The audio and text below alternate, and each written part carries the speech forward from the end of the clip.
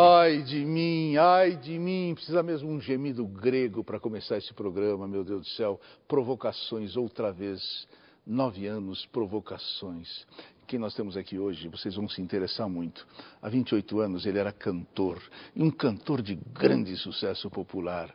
Ele resolveu trocar o que dava dinheiro, a música, pelo que até hoje ele diz que não dá quase nada, a carreira política. Elegeu-se deputado federal em 1982 com uma das maiores votações do Brasil, mais de 500 mil votos no Rio de Janeiro e naquele tempo. Brigou com todo mundo, inclusive com seu patrono, Leonel Brizola. E aí foi expulso do PDT e mudou para o partido de Maluf. Mudou mais ainda. O ex-campeão brasileiro de votos, deputado federal, elegeu-se vereador em São Paulo com muito menos votos, terá sido um downgrade. Isso é ele quem vai nos dizer. O seu projeto político hoje é voltar à Câmara Federal e lutar para que, depois de morto, Clodovil não caia no esquecimento. Ele é Aguinaldo Timóteo. Aguinaldo Timóteo, vamos começar com uma pergunta muito simples para você. Aguinaldo, o que é a vida? A vida é o início da morte.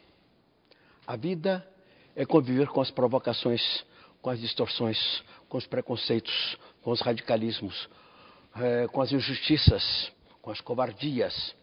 A vida é um conjunto de valores bons ou maus. É, pessoas que vivem a, a sua vida trabalhando com dignidade, ambicionando, acreditando, se preparando, enfim, a vida é esse conjunto. Eu posso afirmar com absoluta convicção: o meu conjunto é altamente positivo e absolutamente digno. Quer dizer que você não acha que a vida é uma causa perdida? De maneira alguma, até porque, graças à minha vida, eu estou chegando aos 73 anos, daqui a alguns dias, é, graças à minha vida, filho do seu José Timóteo e da dona Catarina, todos viveram e vivem com a mais absoluta dignidade. Não permiti, depois que fiz sucesso, que nenhum dos meus parentes, dos meus amigos, dos meus afilhados passassem por qualquer tipo de dificuldade. Não Aqui fiz não. fortuna, nunca me preocupei com fortuna. O Walter Benjamin diz que nasceu uma criança, já é o futuro cadáver. Né? Sem dúvida da... alguma. E a vida é a que está no meio, você tem que organizar assim. Agora, lamentavelmente, algumas pessoas se tornam cadáveres vivas, né? como aconteceu com Orlando Dias, com Anísio Silva, como acontece hoje com o Silvinho, com Carlos Alberto, com tantos colegas nossos, que foram tão odiosamente é, é, é, arrancados do, do convívio da arte, que estão vivos e mortos paralelamente. O que é a vida, hein? Por isso que eu digo que é quase uma causa perdida.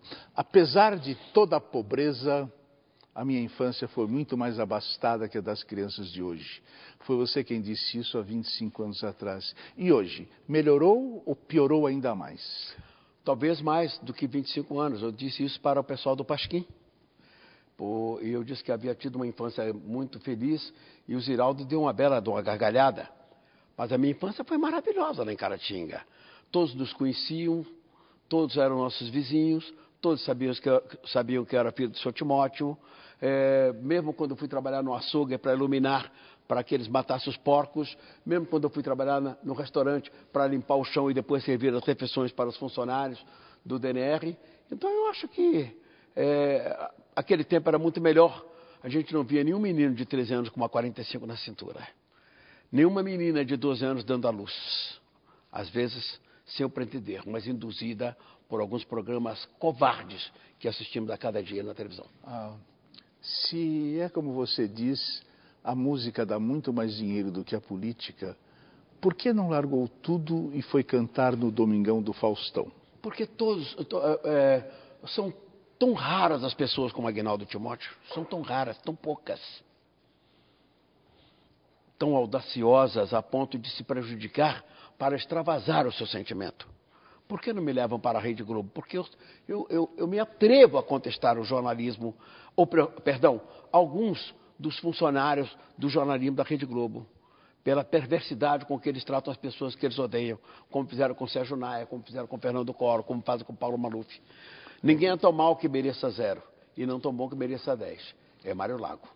Dizem que alguns críticos queriam mudar o seu repertório musical de mau gosto. Você achava isso?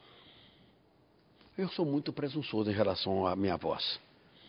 É, eu, eu, eu, eu, tenho certeza que eu sou um monstro de um cantor.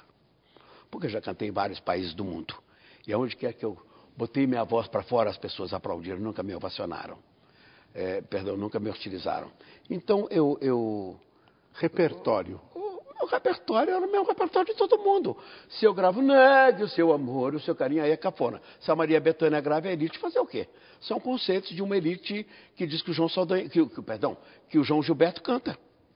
Algumas pessoas da imprensa dizem que o João Gilberto canta. não canta, não fala, não sorri, não interage e recebe 500 mil por um show. Fazer o quê? É uma sociedade com a qual nós convivemos. E você acredita que todos os que gostam do, do nosso grande criador da bossa nova, Caetano, Gil, todos esses baianos acham que ele não canta bem? O, a, a, o comportamento diplomático obriga-os a dizer que ele é uma maravilha, mas há 50 anos ele não faz nada pela música brasileira. Há 50 anos. Apareceu qualquer coisa. Se você quiser, quiser, amor. E, e, acabou. Enquanto isso vieram, vieram Roberto Carlos, Jairemunha Valdo Gouveia, Adelino Moreira, com músicas deslumbrantes. Mas era Adelino Moreira, fazia Panel Gonçalves. Agora, ele deixa, ele deixa o Brasil e os Estados Unidos todos atordoados e maravilhados com ele, né? Não sei como. Ele é um chato de galocha, não canta, não fala. Ele é um chato de galocha, não tem voz, não tem simpatia, não tem empatia, não tem nada. Você Mas não, é o João Gilberto. Você não acredita que esse, essa tua postura é uma das condições de começar uma guerra? Não. De jeito nenhum. É, um, essa é uma opinião de um cidadão, não é do cantor. Uhum. Eu não diria a mesma coisa do Johnny Metz, nem do Frank Sinatra, muito menos do Cowboy Peixoto. Fui demagogo, mentiroso e fiz promessas ingênuas.